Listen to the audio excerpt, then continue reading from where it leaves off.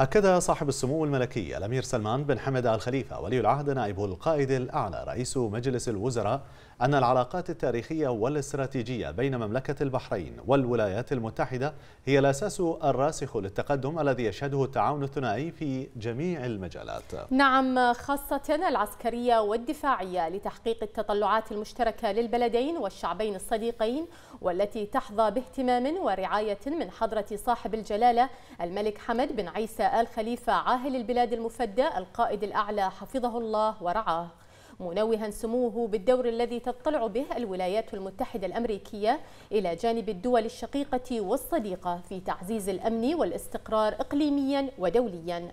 جاء ذلك لدى لقاء سموه حفظه الله اليوم بقصر الرفاع بحضور سمو الرائد بحري الشيخ عيسى بن سلمان بن حمد آل خليفة الفريق أول كنث ماكنزي قائد القيادة المركزية الأمريكية والوفد المرافق.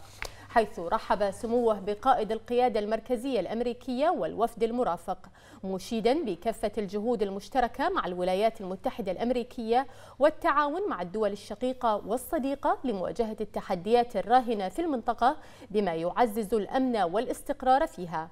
كما تم خلال اللقاء استعراض المستجدات الإقليمية والدولية والمواضيع ذات الاهتمام المشترك.